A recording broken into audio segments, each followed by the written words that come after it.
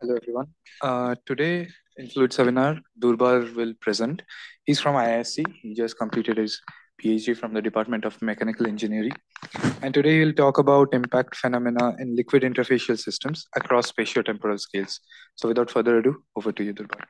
Thank you, everyone, uh, for joining. And uh, good afternoon. And I will first uh, want to thank ICTS for uh, giving me the opportunity to present a seminar and I also want to thank Rama Govindarajan to uh, invite me to do this talk actually. Uh, I hope my audio is clear, correct? Like, like sound? Okay, good. Yeah, it's clear. Yeah, great.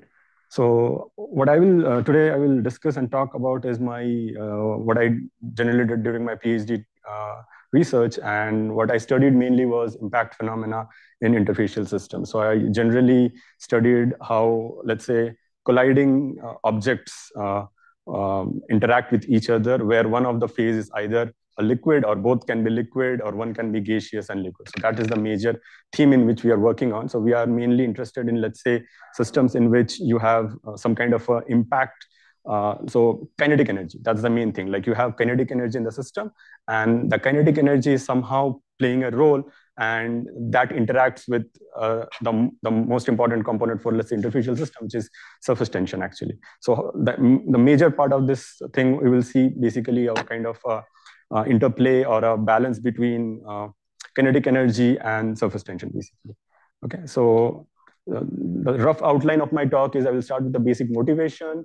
Put an eye photo there like what's the impact in an eye uh, yeah. So okay so uh, what this thing was, these three are one like one of the key uh, images that uh, was the part of my actually PhD research. So this is one of the phenomena uh, that we that occurs actually, and this phenomena is what is known as non-contact tonometry. So what happens is anyone who has a specs or who goes to an ophthalmologist and he does a, a eye test. One of the key of their um, test is basically intraocular pressure measurement. Actually. So what they do is they check what is the pressure that is there inside our uh, like uh, in the aqueous humor, basically. So our eye has different fluids in it. Aqueous humor, one of the key outer layers. And what it does is like it, it provides a coating and it has several nutrients, basically. So what happens is there is a constant flow in of that aqueous humor that has been produced uh, by different parts, and I will discuss how it, the mechanism happens later. But uh, so this kind of mechanisms are uh, key, or I will say very important in understanding, let's say, uh, atomization problems, let's say, from uh, systems in which even we cannot imagine. Like when I first encountered this problem, I myself was surprised because I never thought in this line itself.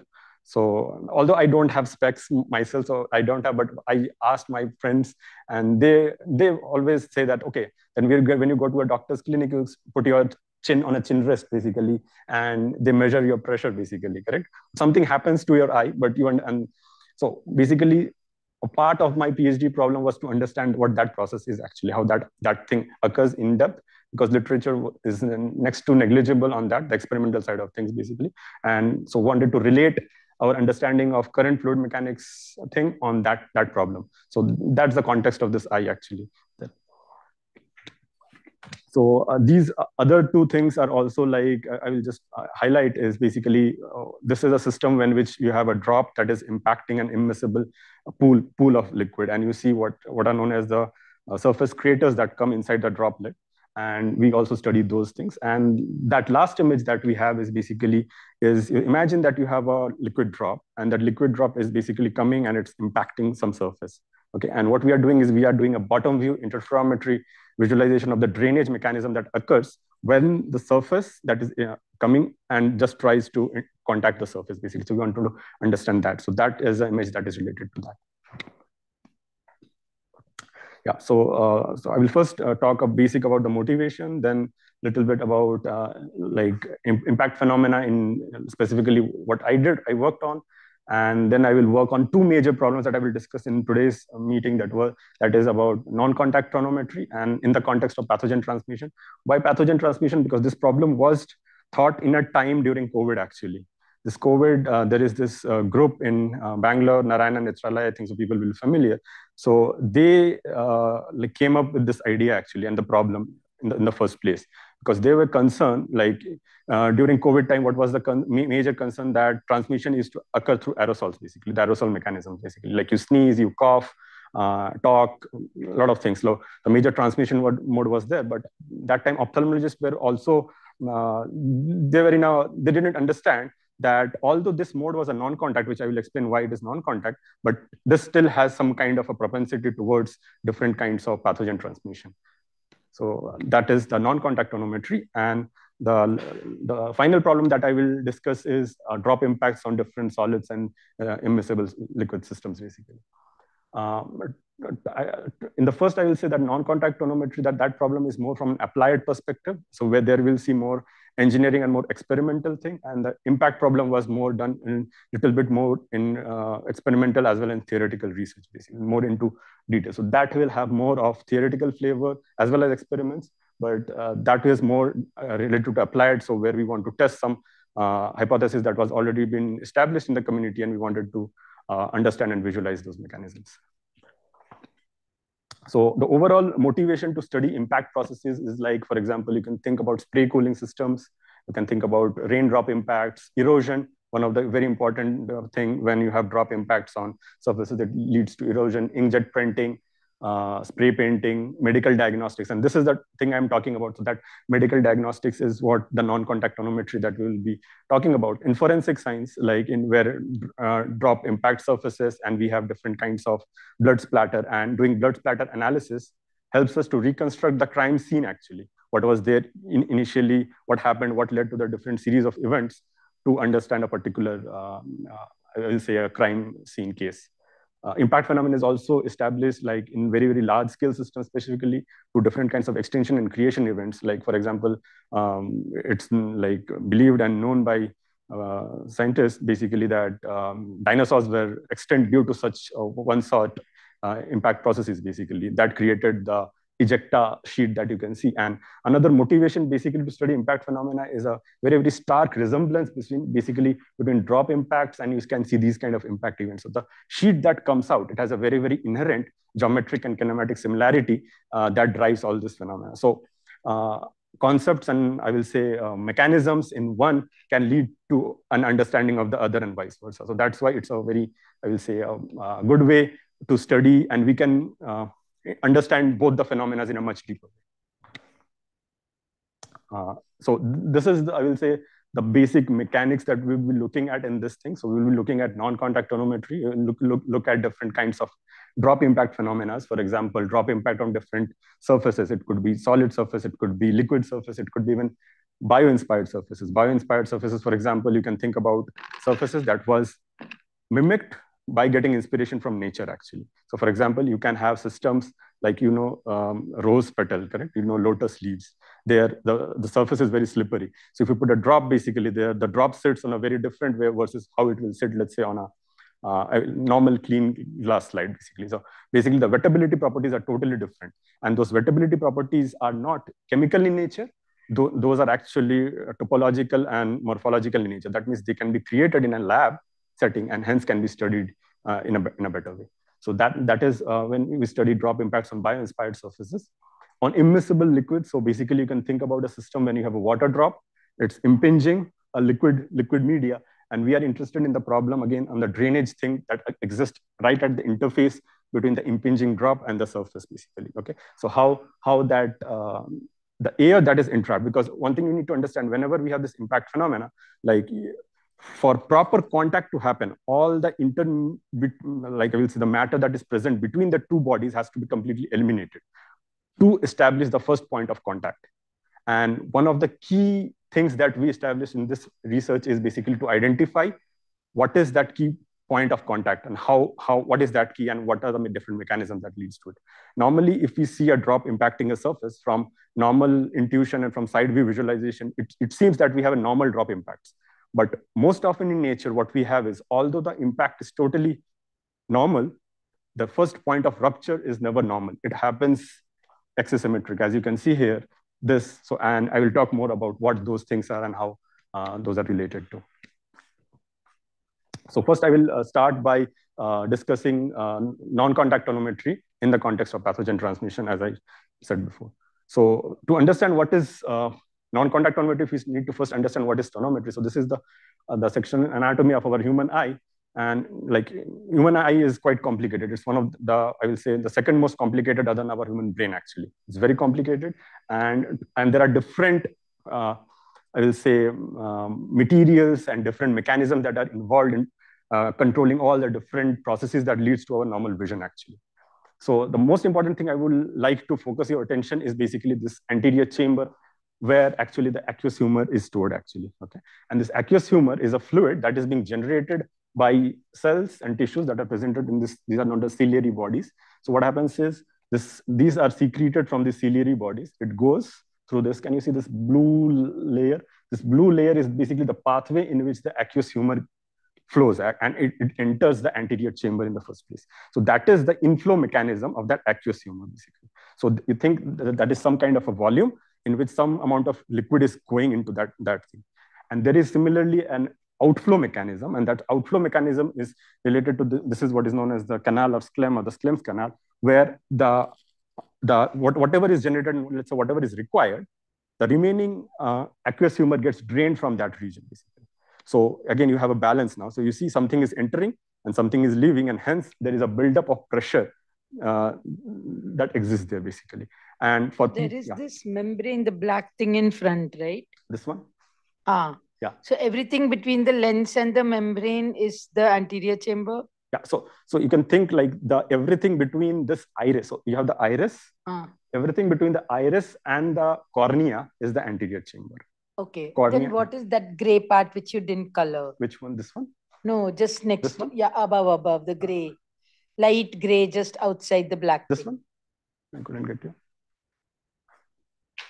So is there fluid here also? That's what I'm asking. Yes, exactly. In this cavity. Ah. This cavity. So this cavity, this cavity is, so this is the cornea, as you can see. This ah. is the cornea, okay?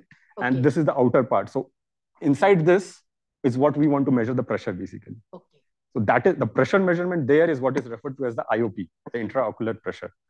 And controlling that is very important for our ocular health. Because let's say, in some cases, what can happen is Durbar, sorry, uh, uh, uh, uh, because the pointer is not visible online, can you just mention which area that Raman you are talking about?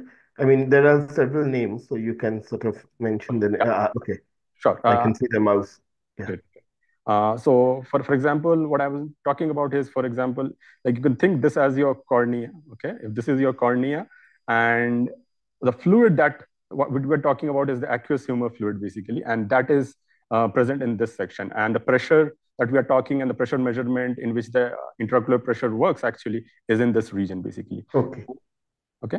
Am I clear on that? Sure. Thank you. Okay. So what we want to understand is basically why this IOP is important. And this IOP is important because it can lead to different, uh, I will say, um, I will say medical conditions. For example, glaucoma being one of the key condition in which that can lead to permanent blindness also. That is related to high increase in that ocular pressure, basically. Okay, so uh, like this is what again I can see a sectional view of that, and here I am just showing basically the key uh, like um, the fluid fluid components. So for example, you have the vitreous humor basically, which is not the major focus. The major focus is basically this blue area, and that is where the aqueous humor is there. And this aqueous humor is being secreted by the ciliary muscles and the ciliary bodies that is presented present here, and it comes out of the uh, of a section basically here, the Schlemm's canal. And how this balance is maintained is basically between a, it's an inflow mechanism and an outflow mechanism. And the balance between both is what controls the intraocular pressure basically.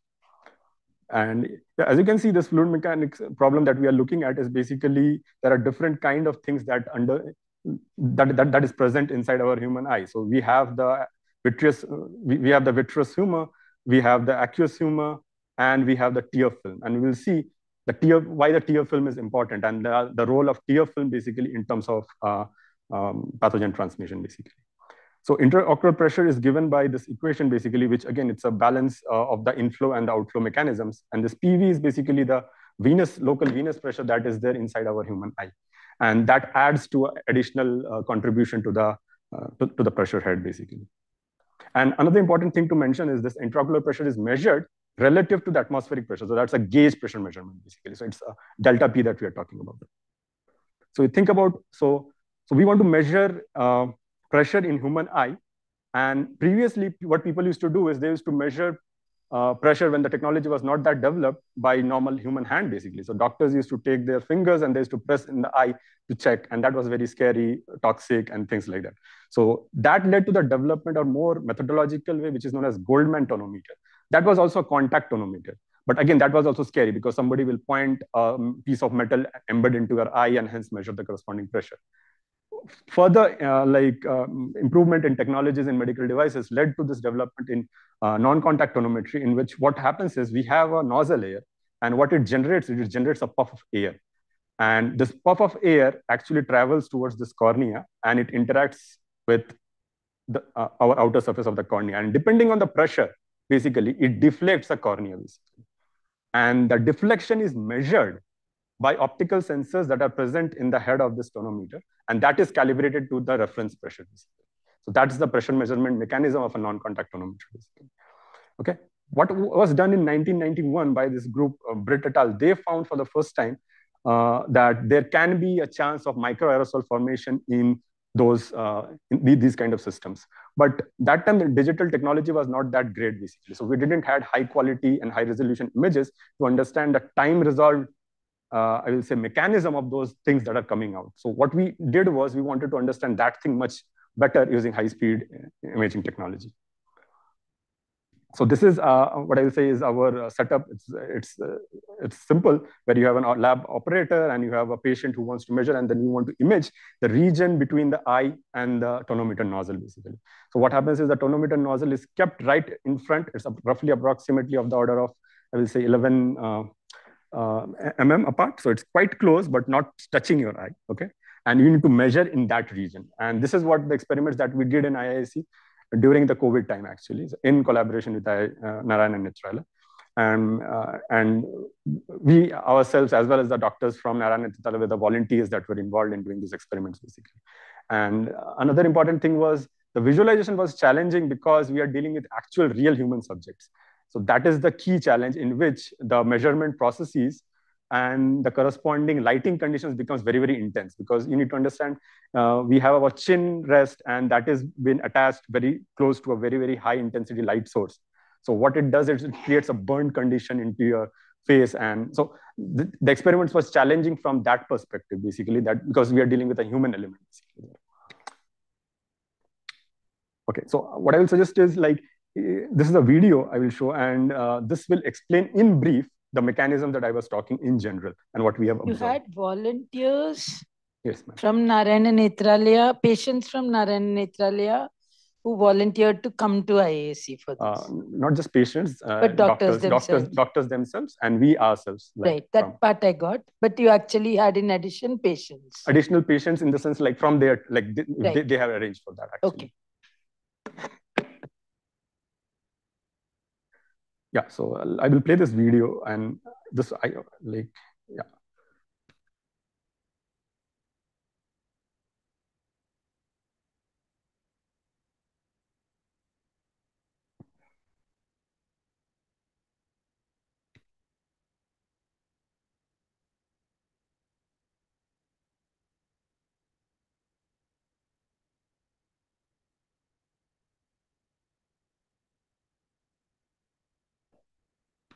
What is there now? Yeah, uh, it will come.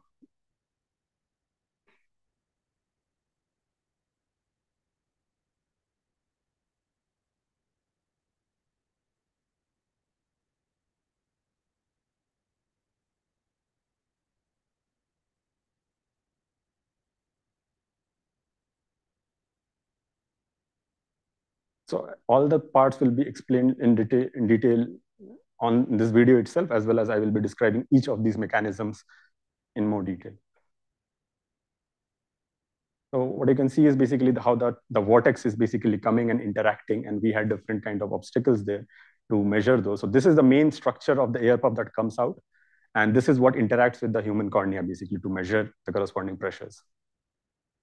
And when this hits our eye, the cornea eye, it generates basically sheets that comes out of that. And that is the thing that we were concerned about.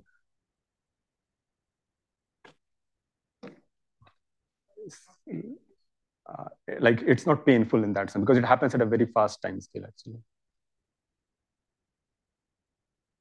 Yeah. Yeah, only the light is a bit of a problem. It's really bright and it seems to be shining in the eye. And, and this we did with uh, different kinds of eye samples. For example, we also did the experiments with goat eyes because goat eyes are biologically very, very, that mimics our human eye very, very accurately in terms of the pressure as well as the geometry basically. So that was a corresponding thing. So what? actually kept a living goat there. Not living goat there. The eye, we take the eye eh, the, from the butcher's shop actually. We take the eyes actually, and we connect those to corresponding hydrostatic heads to create the corresponding pressure inside that eye and then do this so experiment create, create that pressure. pressure. basically for the goat eyes and for the live eyes we like we have our own mechanism basically so you can see the different kind of mechanisms and of uh, fragmentations and uh, drop formations basically and that is that was the thing that was too concerned towards the ophthalmologist that although this being a non-contact process but you see this leads to a transmission which is like it can fall to a surface. It can form fomites, it can form aerosols, and we have a distribution basically uh, for the different processes basically. So you're worrying about infections coming from that? Yes, you're, you're worrying, the, the doctors were worried about the infections that, that could be transmitted through that mechanism.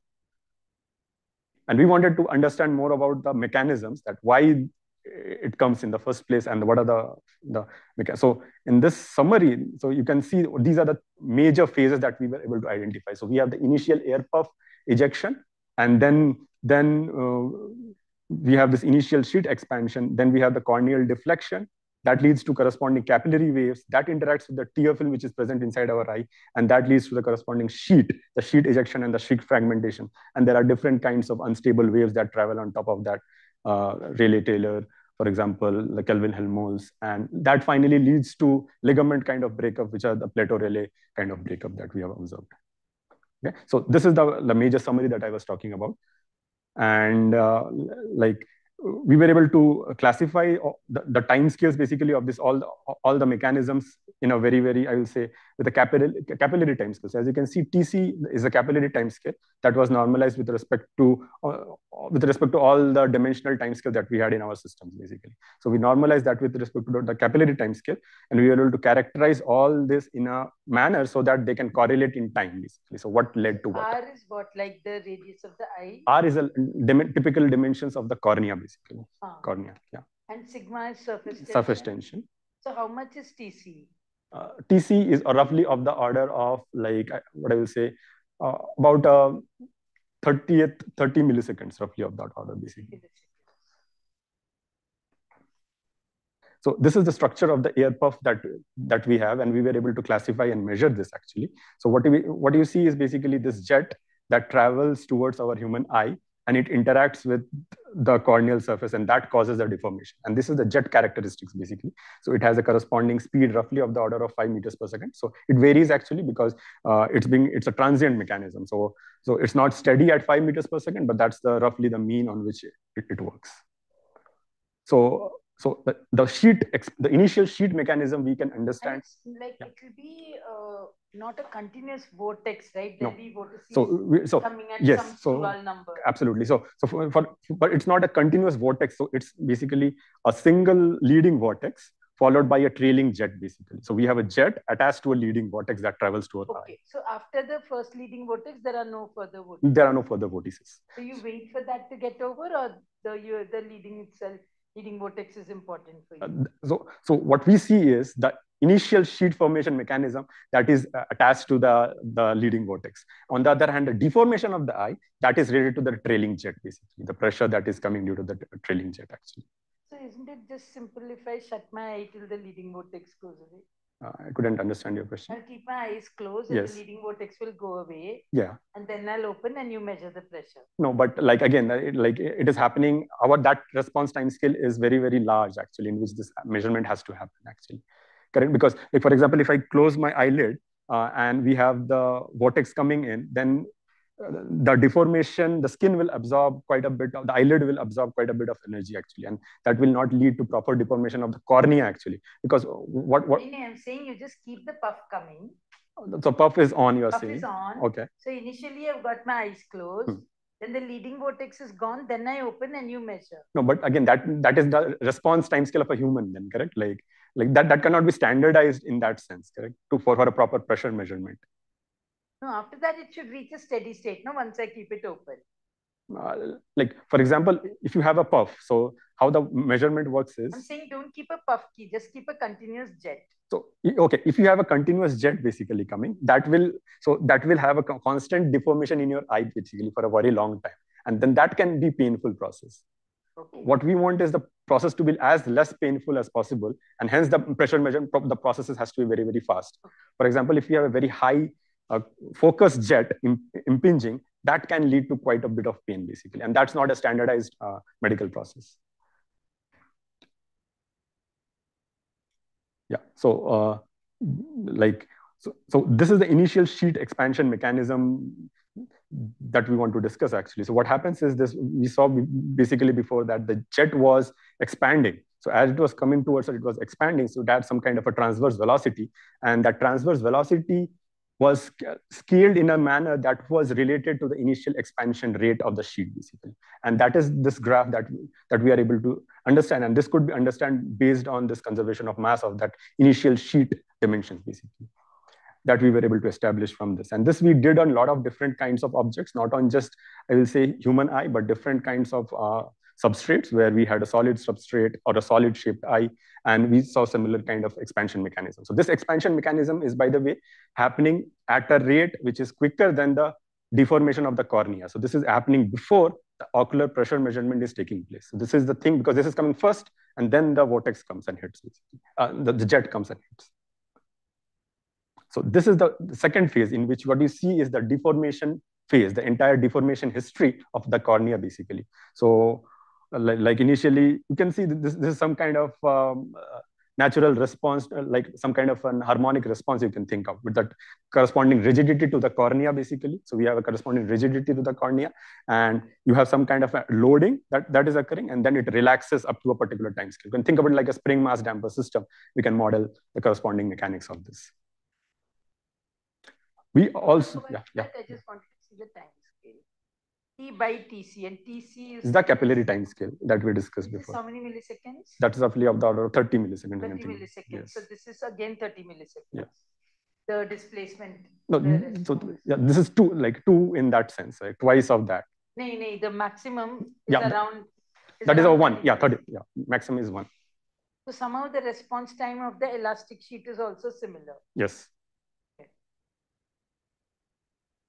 okay. So uh, what we saw was when this when the next the jet part comes and interacts with the eye what happens is it leads to this kind of capillary waves that travels on the surface of the eye actually. This was also very very new because this kind of a capillary wave measurements on the corneal surface was not was not present basically. So and this could be again characterized by the corresponding dispersion relation and the group velocity. So you can see this is the uh, the, the the velocity and the corresponding characteristics wave number and that wave number is basically the distance between the corresponding waves and troughs, basically, of the uh, tra traveling capillary waves. And that falls on that curve, basically. So the measurements that we were did was on, it, it was falling on that curve, basically. This is, again, the capillary wave in a much more closer view. And the top one is what we are seeing. This top one is actually human eye. And this bottom one is actually the cadaver goat eye, actually, as you can see. So you can see the deformation because the down one we have purposefully in that case, the image that is being showed here, the pressure has been lowered quite a bit, as you can see. And hence, you can see the deformation is very, very high. On the other hand, you can see the deformation to the cornea is not that. that. In the previous slide, if you see, the corresponding deformation is roughly of the order of 0.8 millimeters of that scale. On the other hand, so, but that is related to the actual pressure that exists inside our human eye. If that pressure is not very, very, I will say, um, properly balanced, then we can have extreme deformation. So let's say if your pressure is very, very down, our eye can have a huge deformation basically. So the sheets that the just we talked about that the initial sheet that came out basically that lead to the corresponding uh, uh, the sheet coming out of the eye and that forms different kind of unstable waves and these unstable waves then fragmented and led to different kinds of. So this could be modeled and this could be understood based on the general uh, Rayleigh-Taylor dispersion mechanism basically. So because one thing we need to understand is this is not traditional Rayleigh-Taylor. This is to be thought about uh, Rayleigh-Taylor and Kelvin-Helmholtz in an accelerated uh, sheet mechanism basically. So you, so it's not like the uh, fluid that we are looking is at still. So it's like you need to uh, be a reference frame in which the sheet is stationary, which is itself accelerating and decelerating, and hence the corresponding waves that, that appear basically. So here, for example, here the G effective, that G effective is basically taking into account the gravitational as well as that acceleration uh, term of that sheet basically. And we, we did the corresponding measurements. We did the corresponding time scale growth rates as well as the fastest growing wave. And here you can see that for the wave, wave characteristics, our uh, predictions and the measurements were very, very close, actually. You can see the peak converging towards. On the other hand, our temporal measurements were off, like on the sense. You can see that means we were not able to capture the temporal measurements that uh, properly, because what we happened is maybe there was a delay in our initial uh, triggering, actually. That led to this kind of a temporal mismatch. But what you can see is there is a peak, actually. And that peak is uh, close by. And that, that uh, presence of those two peaks nearby actually is is the signature. And but the order of magnitude is same actually. That is the key thing to be realized. And that order of magnitude is coming from the corresponding uh, dispersion relation just being discussed before. Uh, this leads to the later part of the me mechanism where you have the sheet and the sheet again then going into the breakup mode basically. And then what happens is the sheet uh, forms these kind of ligament like structures and this follows the standard Rayleigh-Plateau kind of breakup modes basically. Uh, and like again we did different kind of here drop sizes and drop speed measurement. And this was what was uh, actually the outcome that the doctors wanted basically because they wanted to know what is the size distribution of the drops and what are the speeds in which they travel.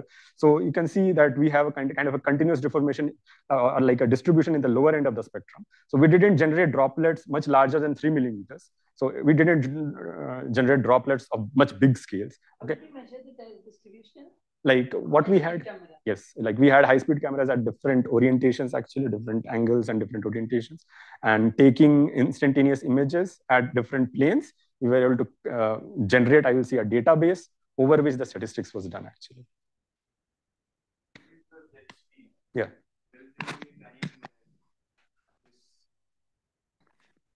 Taking does not happen. Like uh, slow if you spit out a slow puff, mm-hmm.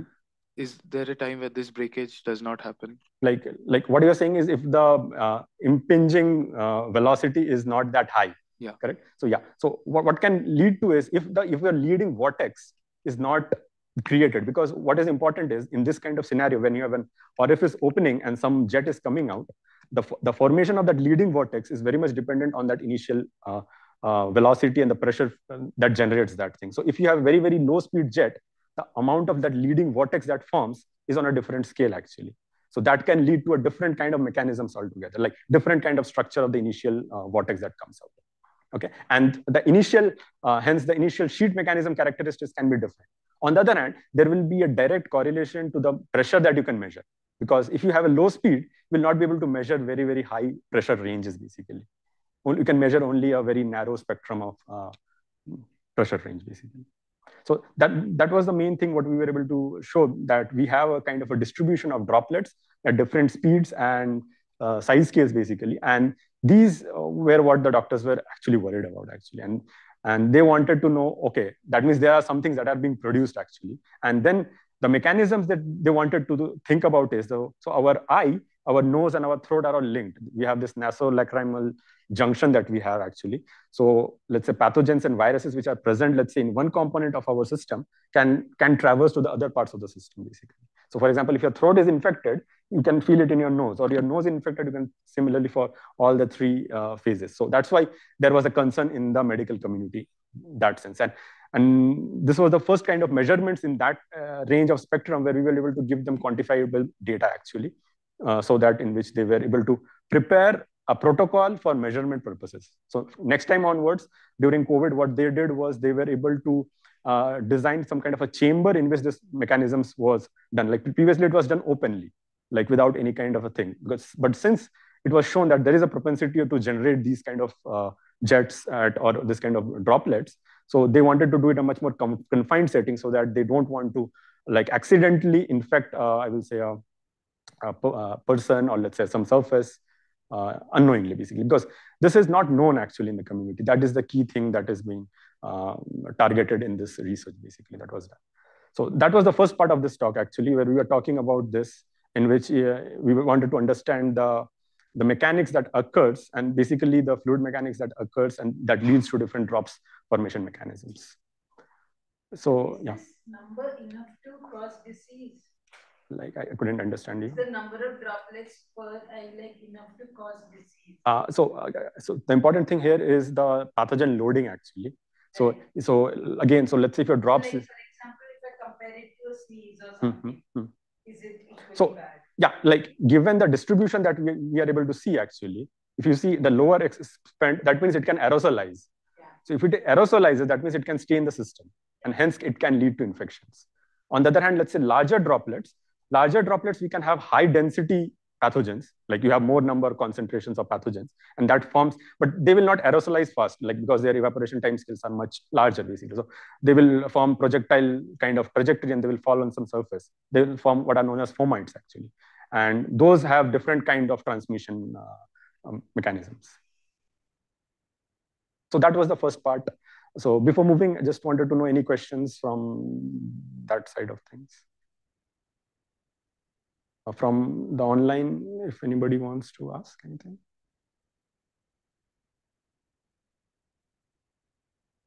Okay, so uh, I think so then we'll move on to the next part in which we what, what we'll talk about is basically drop impacts.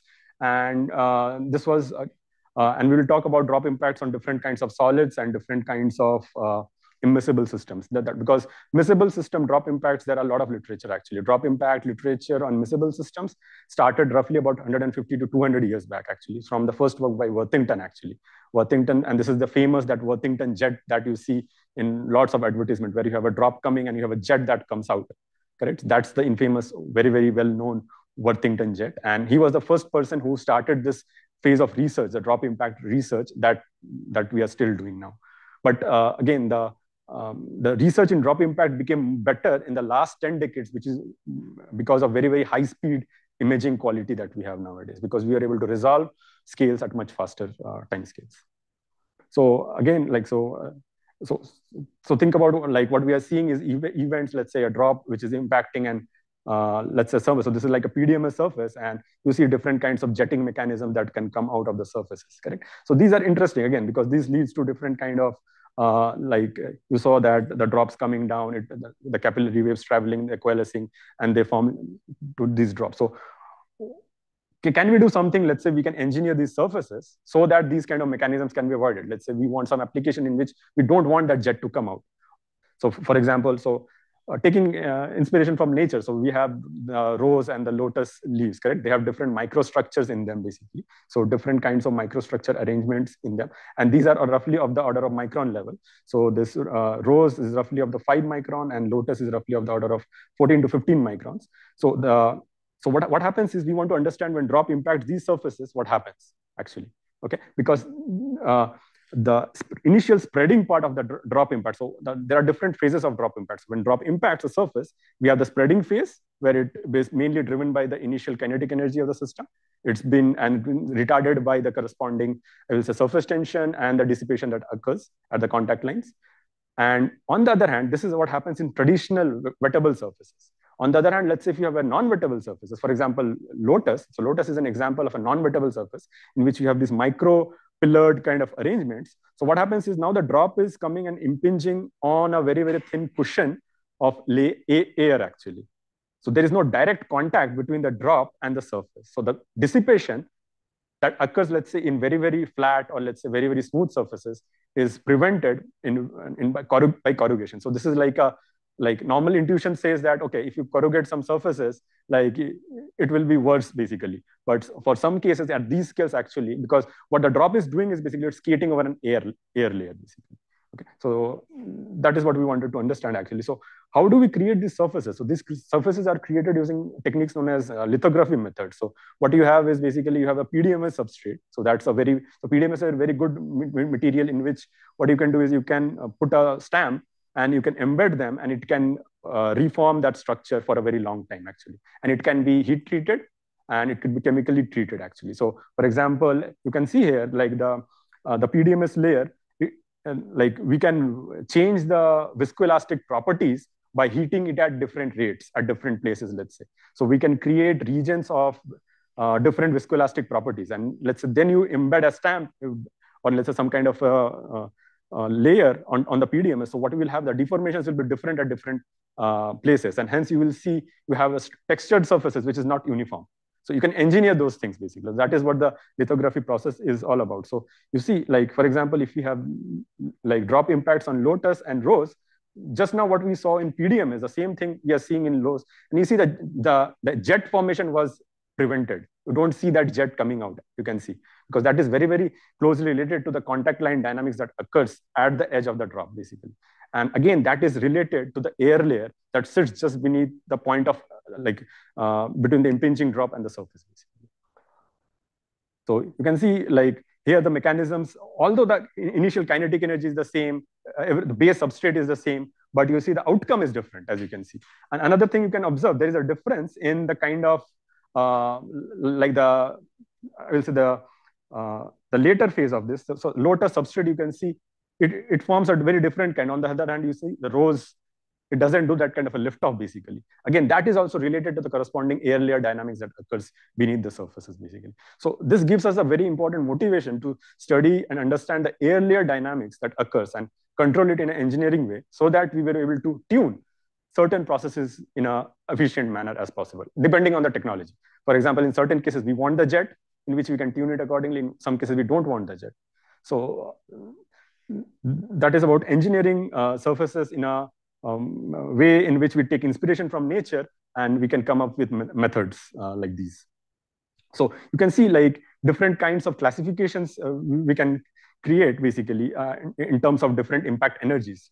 And as I said like before that this Weber number is a very important parameter in all impact studies because that is the term that uh, decides the ratio of the kinetic energy of impact and the corresponding basically uh, uh, I will say the surface tension basically, which is trying to prevent uh, any kind of like, uh, I will say change in area basically, change in surface area. On the other hand, the kinetic energy is trying to spread it as much equally as possible. So that's a clear balance. And Weber number is a very important and key parameter basically in drop impact studies where the role of air is very, very important. On the other hand, let's say if you are dealing with systems in which uh, uh, uh, the air layer is not that important, then we have to bring the additional parameter, which is the Reynolds number, because then we need to bring in the dissipation also that occurs uh, between the surfaces. But since we are dealing with the systems that is, uh, I will say, coming down and hitting a surface and skating on surfaces, basically. It's like basically floating on surfaces. Weber number is a central key parameter of interest, basically. So uh, we can understand these kind of mechanisms based on uh, clear balances of um, continuity equations, um, mass and momentum equations. So we can come up with various kinds of maximum spreading rates and, and receding rates, basically. And we can do all different kinds of measurements related to droplet receding, droplet, uh, whatever is the maximum size for a given kinetic energy that it can leave. And we, we were able to generate scales like this. As you can see, like the maximum spread is related to one-fourth power of Weber number. Th that thing and how you see we are able to capture the contact angle that comes into the picture. So there where the engineering comes into the picture. So different wettable surfaces will have different contact angles and that leads to different kind of uh, spread, spread rates basically. So while we come in to understand this uh, important thing, you see the important thing here is this retardation scale actually. And that retardation scale roughly is the impact velocity square divided by the drop length scale. And that is much, much greater than the gravity basically. So gravity you can neglect in these kind of scenarios. Hence, for in droplets sense, because we are talking at time scales, which are of the order of milliseconds. And for if you want to understand uh, the air layer, which is between, we are talking even faster times because we are talking about microseconds actually. So gravity you can ignore because gravity needs much larger time scales to act over a certain distance because it's like 10 meter per second square, correct? So over that uh, time duration, it will not be able to uh, get that kind of a length scale, basically. So here are the uh, different spreading characteristics, basically. So you have the different, um, like the beta is basically the spreading uh, rate of the droplet. for different surfaces, for example, for, and we are able to understand different mechanisms. So this is, for example, on glass actually, and th this is on PDMS, and these two are for the one is for the PD rose and one is for the lotus actually. And you can see there is a clear distinct of the how it's peaking and again it's falling. So it is going towards more harmonic trend actually for the later two cases. On the other hand, a more dissipative kind of trend for the glass and the PDMS kind of thing. So like for sounds like a very natural experiment you do right? correct like he, he, here what we are trying to understand is we are trying to motivate the importance of that air layer actually that we did. So that air layer measurements actually are not that uh, there in the literature. These kind of drop impact studies like these beta measurements these are there in the community actually. Beta, beta is basically the maximum spread rate the ratio of the, the maximum spread rate to the initial drops. Velocity with which it's no the maximum spread that it can the length scale. Length. length. Length divided by the original length. That's the beta basically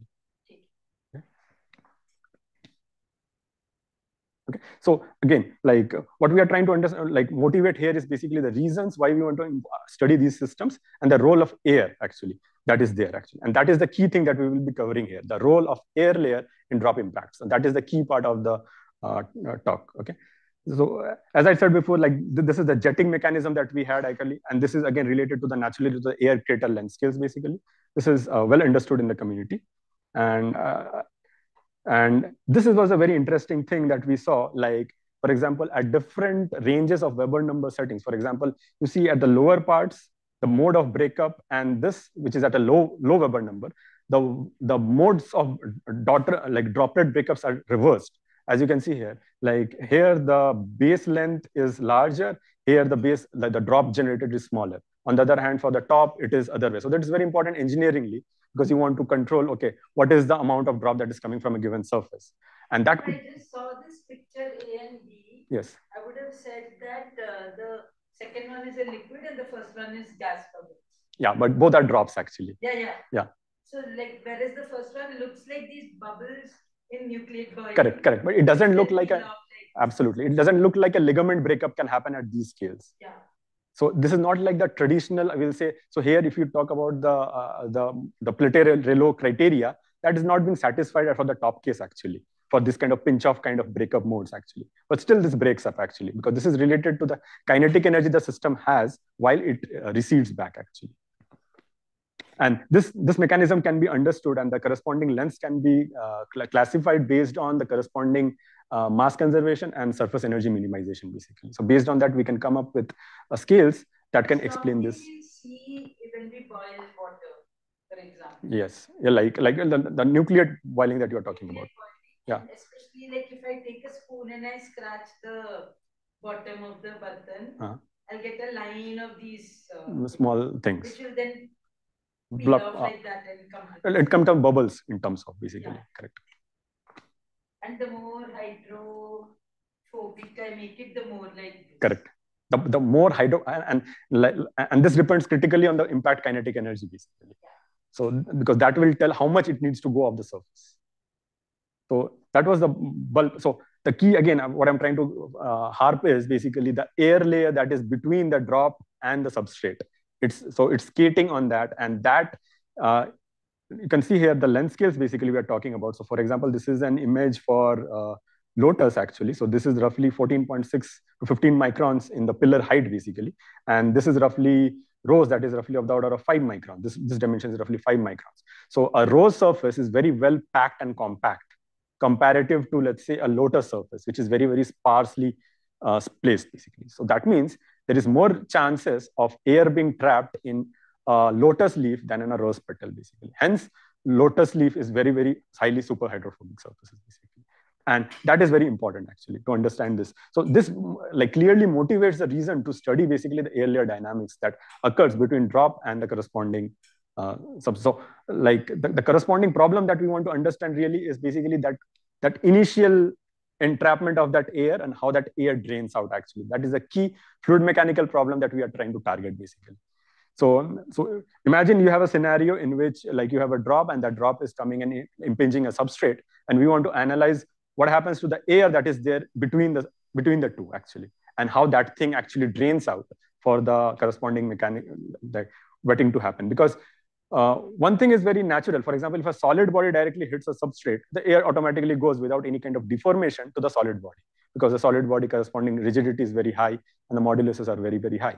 On the other hand, for example, if you have a liquid drop, scenarios are a little different because then what happens is we observe, all the intuition says that we will have a center contact, but the center, it doesn't happen like that. So what actually happens is because as the drop is coming down, what happens is there is an intense like pressure buildup. There is a lubrication pressure buildup at that region actually, and that is inversely proportional to the distance between the uh, like the drop face, the forward face, and the substrate. So as the drop is coming down, pressure is building up, building up, building up, and the moment it crosses the pressure jump at the interface of the droplet, the capillary pressure, 2 sigma by r, we start to see deformation at the bottom portion of the drop basically. And this prevents the very, very famous, like the contact uh, singularity problems that we know in fluid mechanics, correct? Like you take, okay, a solid body comes, it will take infinite time to contact the surface, correct? For drops, it is automatically prevented by the deformation of the surface, basically, because the, the, the center part never contacts in the first place. What? Yeah. Yeah. And I'm worrying that you're 33 out of 90. Yeah, so maybe like it's uh, like like what I will mainly highlight. Yeah, like but what I'm trying to tell is like I wanted to just motivate the main main aspect of the work, which was non-contact tonometer. I did that, and here the key motivation that I want to give is not the details, but more on the understanding of the air layer dynamics that is between the substrate. Okay, and that is a key thing I will uh, try to focus. So this is the kind of the interferometry setup that we actually uh, developed and uh, to measure actually the corresponding uh, the, the, the air layer thickness basically. So I will maybe fast forward a bit. So rather than,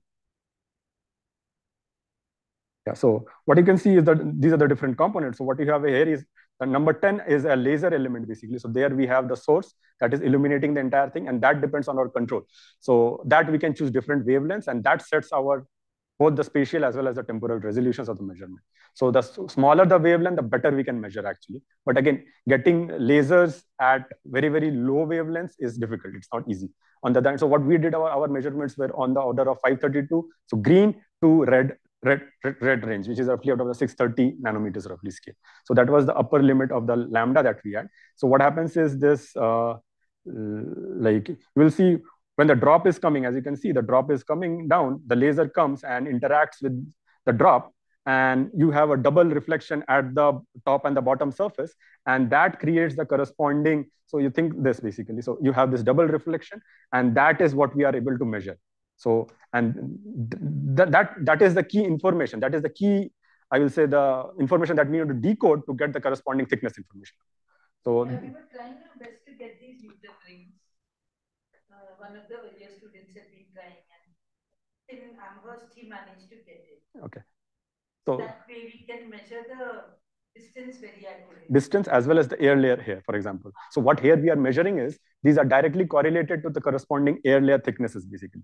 Because what enters into that refractive index relation is basically the optical path length. So you have the refractive index multiplied by the optical path length. And that is related to the corresponding phase measurements and the intensity measurements. So if we measure that, we are able to measure the thickness basically. So another important point I just want to hi highlight is that you see the drop is normal impact, but you see the wetting wetting that is happening. The first point of contact is side.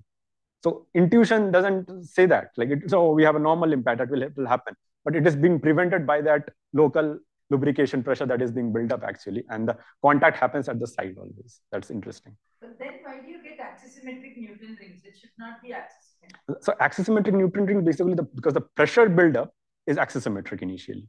The initial pressure that builds up when the drop is coming. And so that pressure buildup is very axisymmetric. But what leads to these hole formations, those are not in the classical hydrodynamics, I will say, length scales.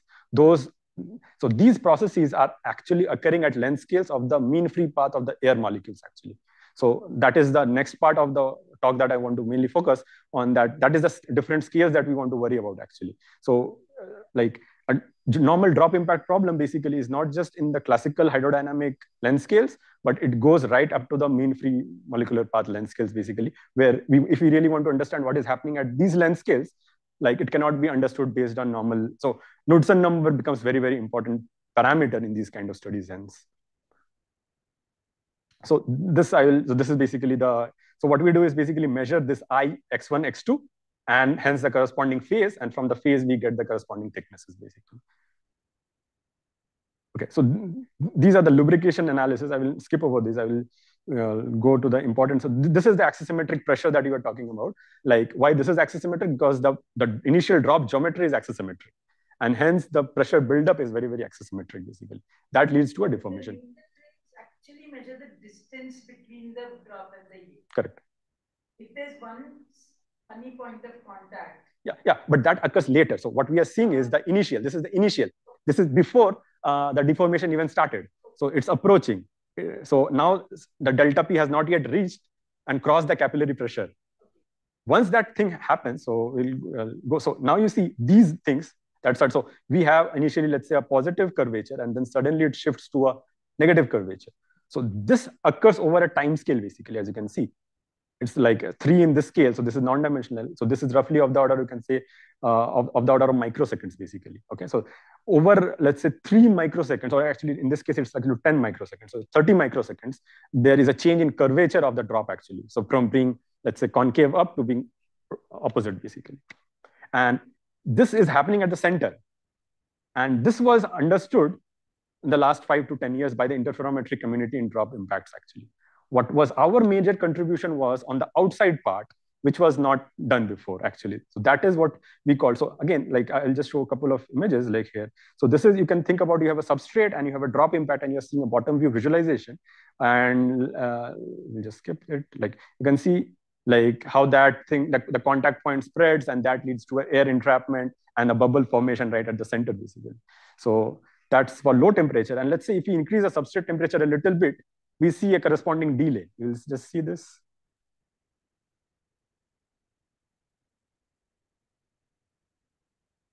Okay, so like here, for example, if you see this is a little bit high, high temperature, and you see the contact point is still not there. It, it has expanded much further, further, and now you see a contact point. But still, it happens in that peripheral disk region. And the interesting thing that we are trying to understand is, you see, this structure is not smooth and clear. There are perturbations on that disk actually. And we were able to first measure those things actually. What were those length scales over that which the perturbation happens and correlate hence to those corresponding uh, uh, the first part points of contact basically. So I will skip over these now because uh, so yeah this is the, the, important thing that i was talking about so this is basically what you see is a knudsen number map basically as the drop is coming down basically so what you see is the air layer thickness represented in terms of knudsen number and you see initially here the knudsen number is very very well spread and nice very, very symmetric. But just before the contact, you see there is a ring around where we see some weird stuff happening. So we pick up some signals here, as you can see, and this is the line over which the contact happens. So if you think about that, this happens, like there is a entire ring around which the contact probability becomes very, very large because there the Knudsen number is climbing up very, very fast, basically. And this happens for all, yeah. Temperature just to hike up the Knudsen number. Yeah, like for different ranges of thicknesses, basically. So for example, here you see like, again, the temperature is raised and you see the, the thing is being delayed. The spot is being delayed. The first, uh, the contact point is being delayed. But again, you see before that contact point, initially that it was very, very smooth and symmetric. But now you see, again, we are having these weird structures forming basically. And that is a clear signal basically that there are some structural length scales that are being developed at that peripheral region. And there is what the first, where the first point of contact occurs that was again this is for a much larger temperature regime. And you can see clearly like uh, this the thickness of this regime you see is a function of temperature actually. Like if you see before here this was very very thin. This is very very this is like room temperature you can think cold surface. On the other hand as you increase the thickness you see this is becoming larger and larger. For a little bit more we have more large. If you cross the if you go towards the Leidenfrost regime we don't have these contacts. So we totally suppress this contact basically. Because now nowhere uh, it will not allow the thickness to go there because you have phase change at that rate.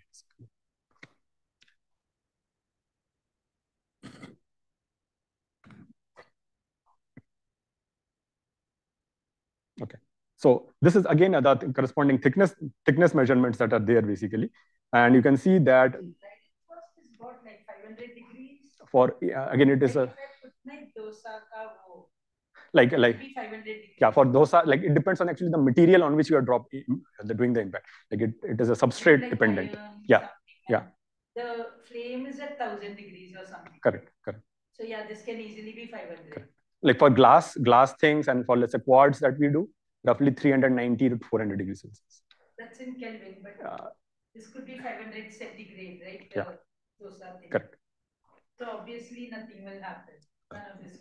For there like if we have very very high so you prevent it. But what i'm trying to tell is like for actual drop impact scenarios let's say in inkjet printing it's not hot correct? So these kind of bubbles form and that's why you have printing defects basically forming in different things. And the important thing to realize is, is the formation of these structures and we don't understand really why this happens. But the, our current our current measurements reveal that these occurs at length scales where the perturbation length scales lies at the balance between disjoining pressure and the capillary pressure head. So the capillary pressure that is building up across the interface of the droplet, that's a pressure scale being set at the air layer. And when that meets the corresponding disjoining pressure at that, there is where the corresponding thickness variations in the perturbations lie. Explain disjoining pressure.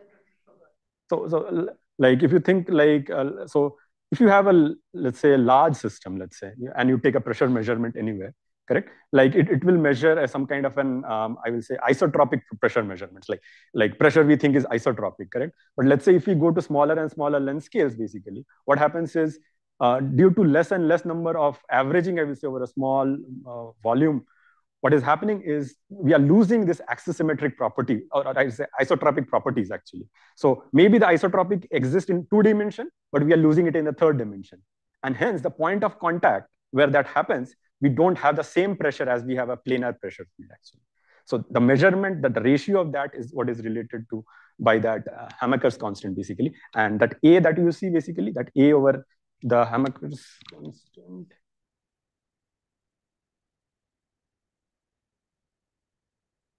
I don't know, something stopped working.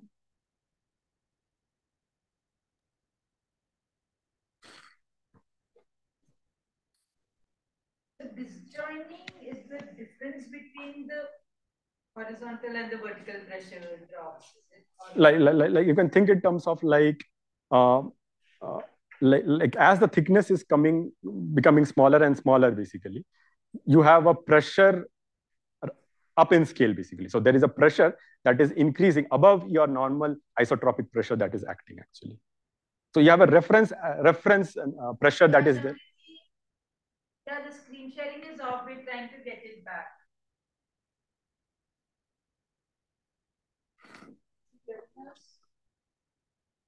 Samriddhi, can you hear us?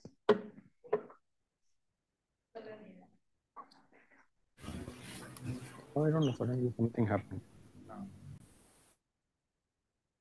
Okay, you can hear.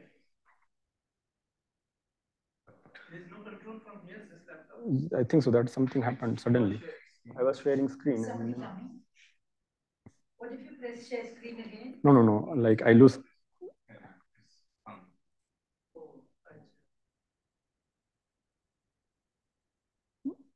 Shall I restart it once? Like if it's possible?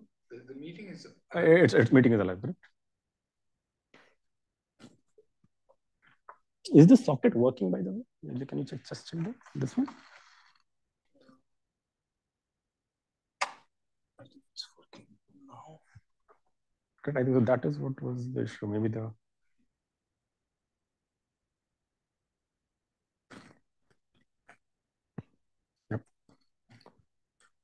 Charge was down. Yeah.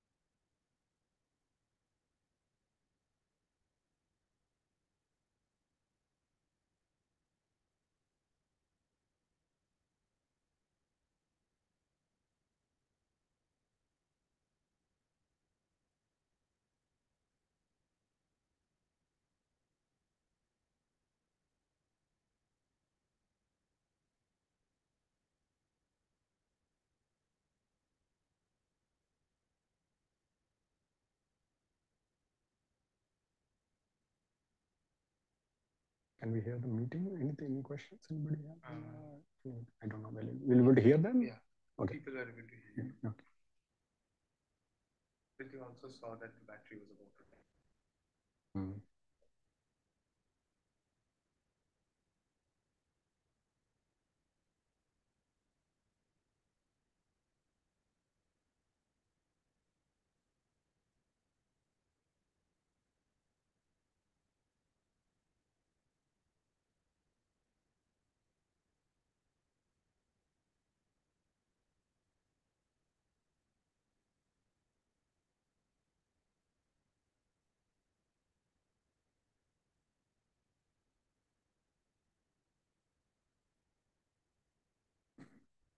Much time do we have now? I think so almost 15 minutes, right? Four o'clock Yeah. till till four? 15 minutes.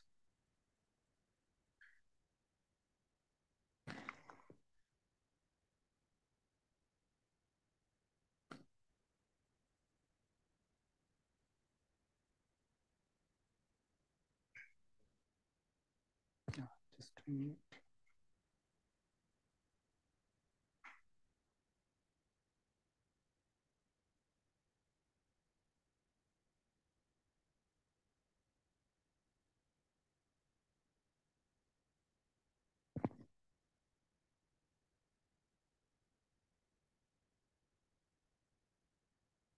Laptop is actually a little old in that sense.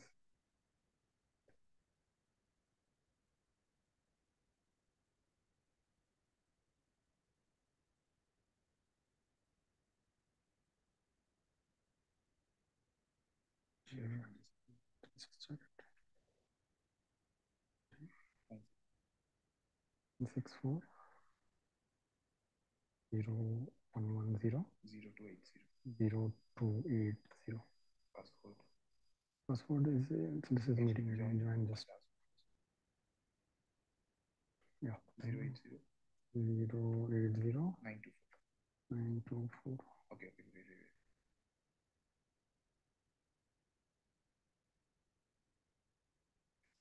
wait. Nine four three Nine four three four one one four four one one four seven seven five. seven seven five one. Yeah, this Zero one. two zero two zero Zero two zero two zero three. two zero three. You see?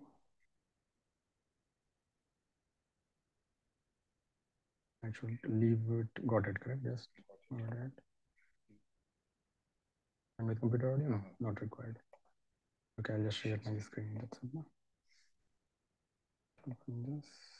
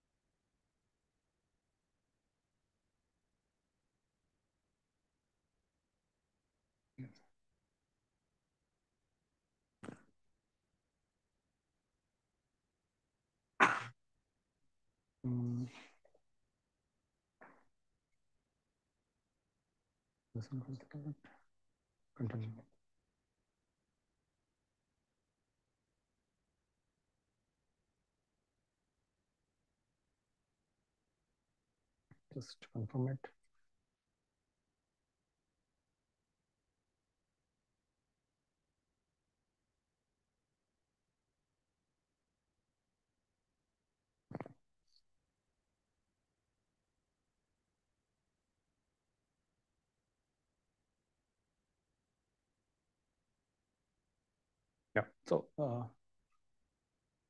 here, where I was actually like uh, we were discussing the interactions and the perturbations that we picked up actually at that peripheral disk, and mm, that occurred at the interface of uh, the capillary pressure and the disjoining pressure. And the measurements that we, we picked up was actually at that transition uh, Knudsen number regime, basically, as you can see, where your classical concepts of pressure are no longer true in that length scales, basically. So that's the key I, will say the key idea that we wanted to move on. And uh, th this is a like work related in which we are doing drop impacts on liquids basically. And we wanted to understand this, but I will not focus mainly on this due to time, time issues. I'll just move on and directly go to the other part, which is uh, this one actually. So again, you think that we have similar scenarios where you have a drop and that drop is impinging on a liquid and we still want to understand how that air layer that is there and we want to resolve that actually. Okay? And and this like this is a uh, like bottom view imaging that i want to show where you see what we are seeing is how the rupture points we are picking up uh, that leads to a bubble formation actually. And this is think about a liquid water drop impacting a silicon pool of viscosity 5 centistoke actually. And we played with the viscosity of the pool actually and we found different regimes because the thicknesses were a function of actually the, the, the earlier thickness was a function of the actual viscosity of the material. So this is a, it's a pool viscosity of 950 centistoke. And you see in this case, we have a lot more like different kind of structures that are forming basically. And as you can see, this is not, and you see the thing is delayed quite a bit. You don't see any hole. So this is just like a, we have entered the Leidenfrost regime, but not in a in an isothermal setting basically. So still the, the drop is expanding, but still there is no contact between the drop and the substrate basically. Still it is floating on air actually. And this happens and you see these weird structures that is again coming into the picture, these length scales, like these length and and you see then a sudden rupture point happens and that rupture point leads again to that that hall formations basically again and these measurements also clarify the same thing that we discussed last time that it occurs again at the balance of the scales that uh, between the capillary and the disjoining pressure scales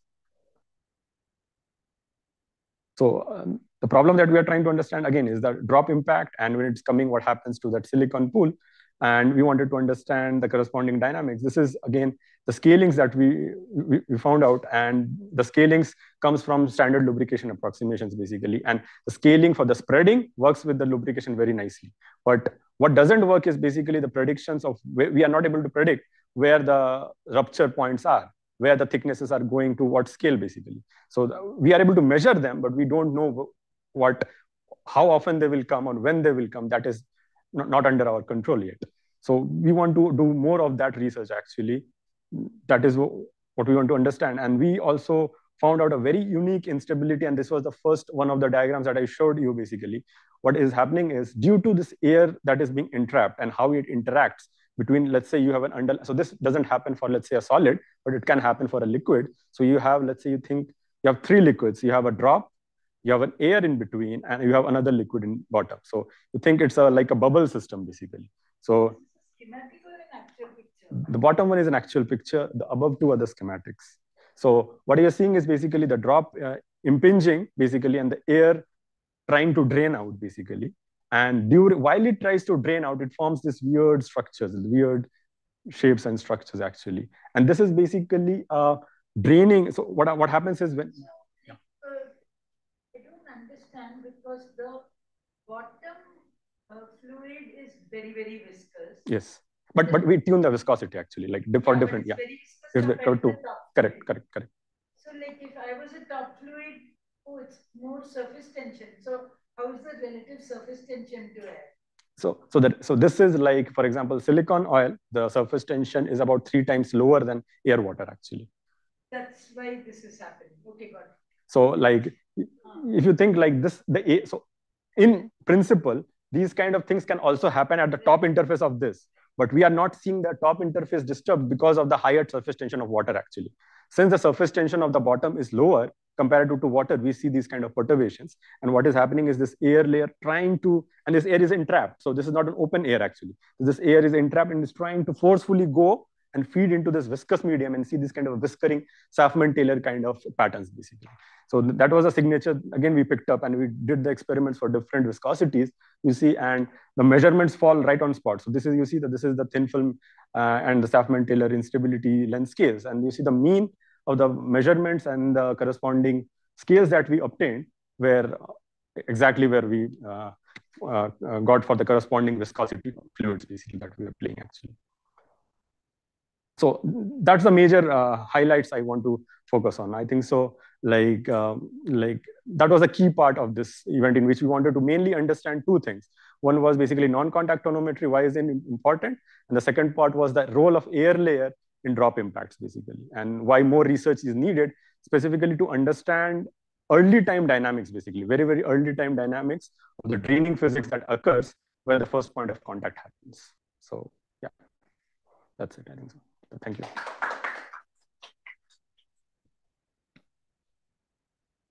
Any questions, anybody? What physical scenario will that happen, like drop falling on another? uh, drop falling on another layer, uh, another layer of. Another, so, for example, raindrop on an ocean surface. Yeah, but let's say you have an oil spill. So, like, like you have big oil reservoirs and correct, and then so like this oil ta oil tankers are leaking, and you have raindrops impacting on surfaces, basically.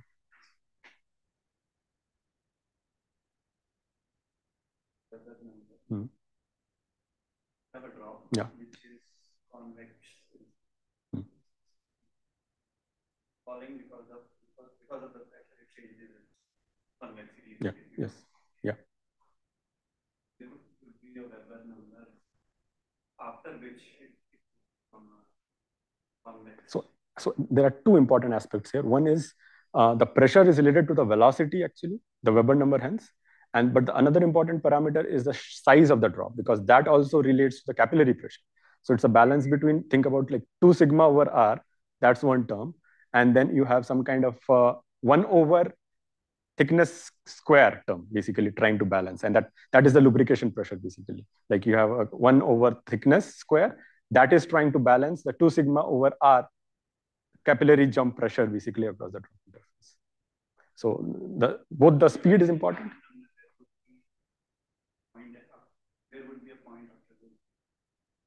So, so, the, so the important thing to realize here is as since the thickness is in the denominator, correct?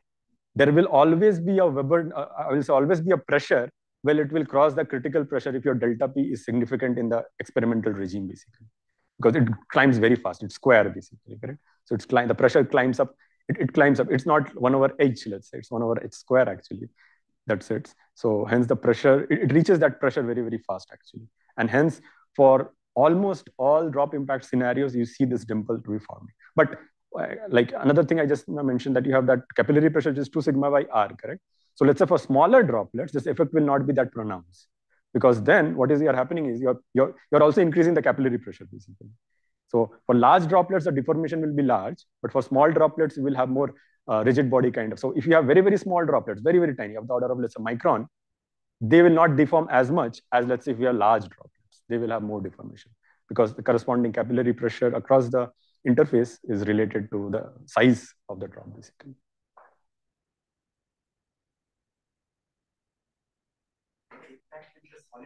Yes. The air layer thickness is not the air layer thickness is not constant, right? So there's a distribution. Yeah. So so if you see overall from the center, you have the dimple, and the dim uh, surrounding the dimple you have the disc basically. Okay. So and yeah. So, so the layer is not flat. That's the first thing. There is a, there is a distribution, Okay, there is a distribution. There is a distribution. But, and yeah. But still, the uh, pressure development is axisymmetric. The initial pressure development is axisymmetric. The initial, before the deformation takes place. The, the initial that leads to the deformation. The initial is axisymmetric. But once the deformation starts to happen, and we have this, uh, I will say, these structures, as you can see, these structures that are forming, correct? This structures doesn't form initially, correct?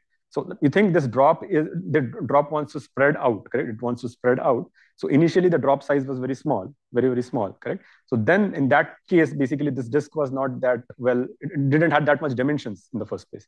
So up to that length scale, the pressure is axisymmetric.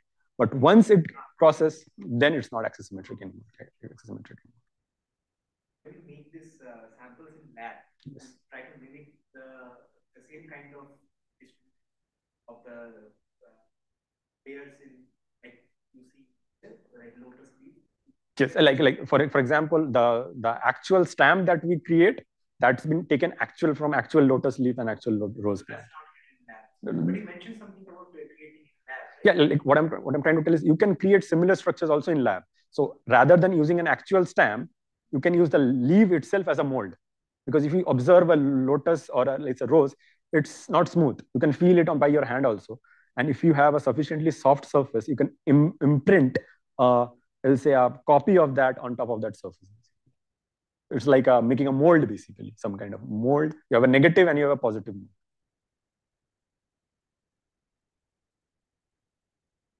Anything else? Anybody? Any questions online?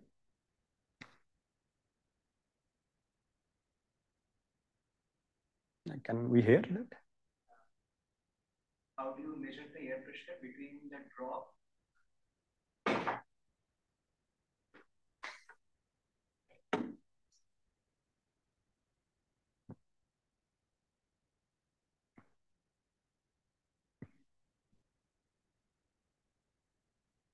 Uh, how do you measure the air pressure between the drop and the contact surface?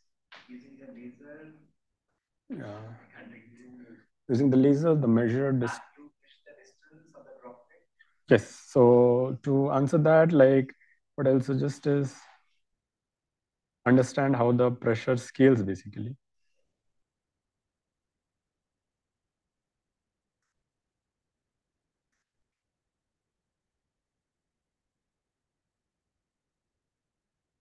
Yeah. So you see this one, this thing basically. So this is basically the pressure distribution, the radial pressure distribution, as you can see. And that is being correlated to the corresponding thickness of.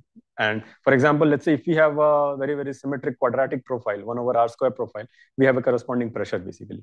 So there is a map between the corresponding pressure and the corresponding thickness basically. So we can, based on that mapping, we are able to uh, get the corresponding ratios basically. How, how do you find the mapping? How do you relate the H and the P? So, so what I'm trying to tell you, given that you have an H, you can calculate a P uh, so using the lubrication theory that we have. Using the lubri- lubrication approximation, yeah, Related to that only. yeah, yeah. So what is the uh, landscape, what is the general thickness of that air? air? Uh, so it varies, as I said. At the center is roughly of the order of five microns. As you go towards the periphery and goes towards the edge, it goes towards the mean free path of the air, basically. Ah, so that is why I, because you Yeah. mentioned, yeah. Yes, so like at that, if you are reaching the levels of the mean free path, Yeah. then whatever continuum theories you correct, correct, exactly. to derive these Correct, expressions, exa- that will not be valid. Correct, exactly. That is the thing, that, that is the challenge that we are having. So this continuum theory works for the central dimple, but it doesn't work for the disk. That is the that is the thing that we are trying to understand. And that is the measurements that we are taking, basically to understand the connection, basically, to establish what should be the corresponding pressures on the disk region.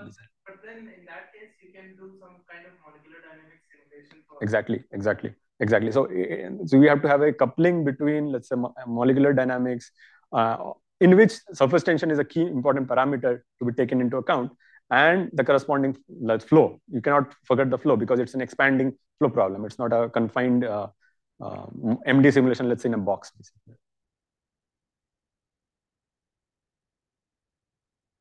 think, uh, Yeah. uh, on a solid surface, if there is a drop, Hmm. you said that depends on the purely on the topology of the surface, the structure of the Correct, surface. correct.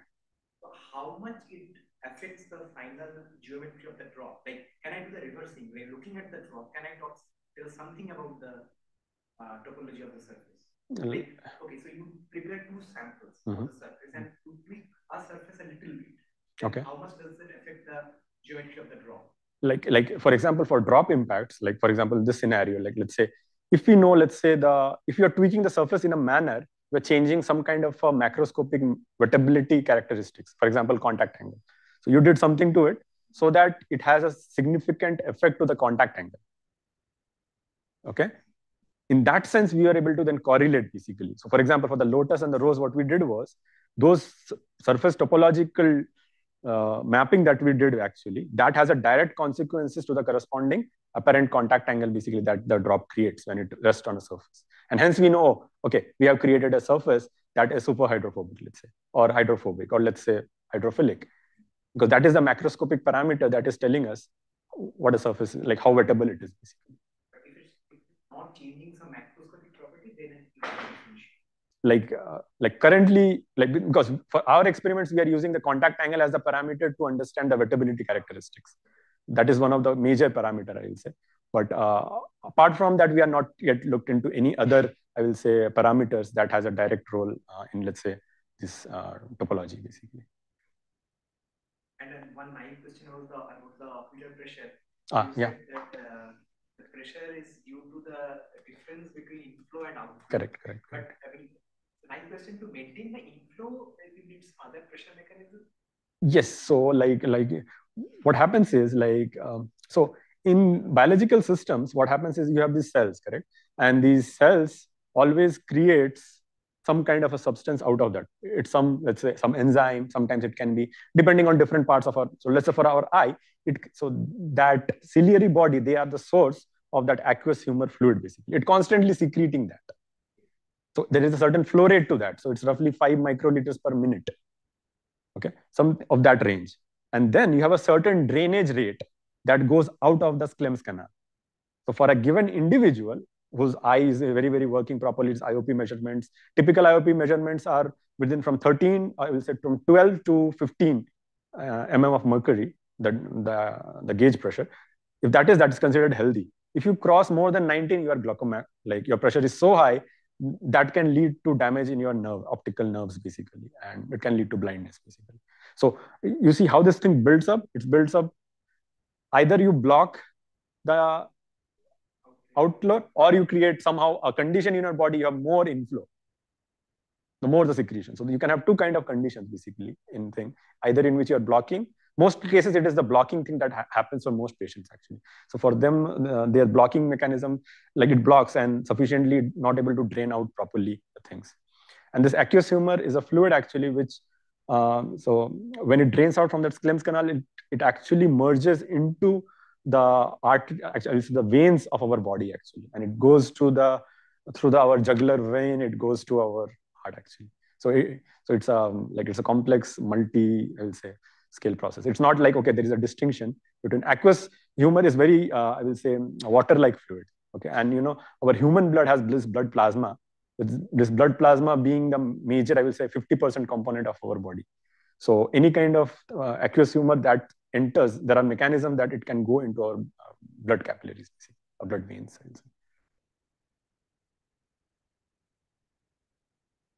Yeah. In the lubrication scale. Yes.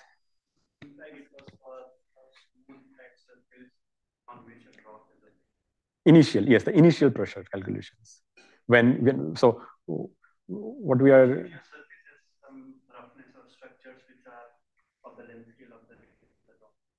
then it will change. It, it will change. So even in the continuum yes. even in the yeah. you think the pressure is giving take into account the structure of the surface no, it, if it is sufficient so that you have an obstruction towards its approach length scale like how it is approaching okay, then it will affect.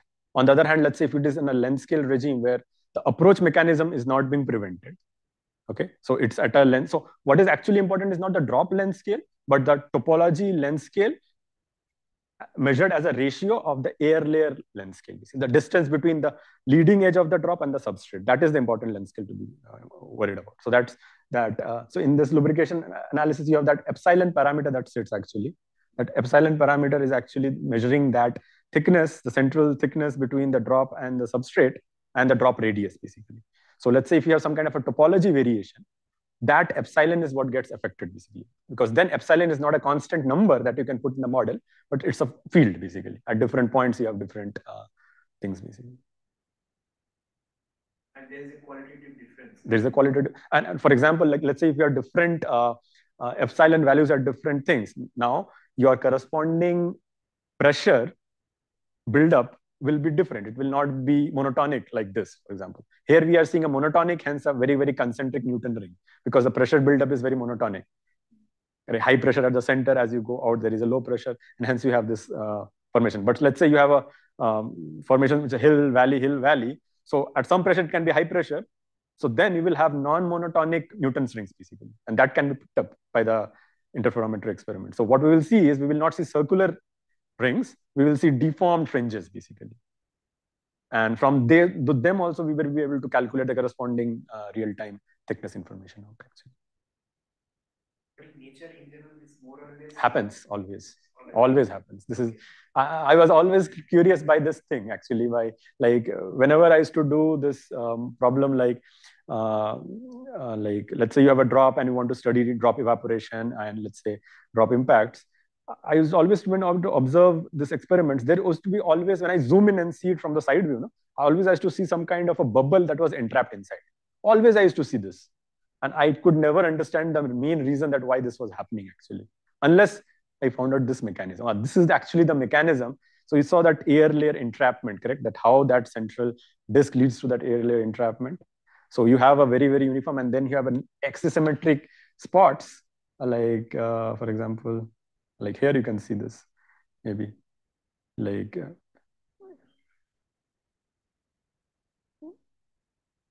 so you see this, this, this. So you see these are different spots basically where you have different pressure values actually. Because here now the pressure is not monotonic anyway. Because the, the first point of contact, the first point of contact by definition is a place where there is no molecules anymore. So there, the existence of hydrodynamic continuum pressure itself is not valid. Because that's the point when there is no air molecules anyway. Because so if you're in a very, very confined region, very, very near to the contact point, there we are working in which in the planar two-dimensional uh, direction, the isotropic holds, but in the vertical direction, the isotropic of pressure we lose because we don't have sufficient molecules in that dimension basically.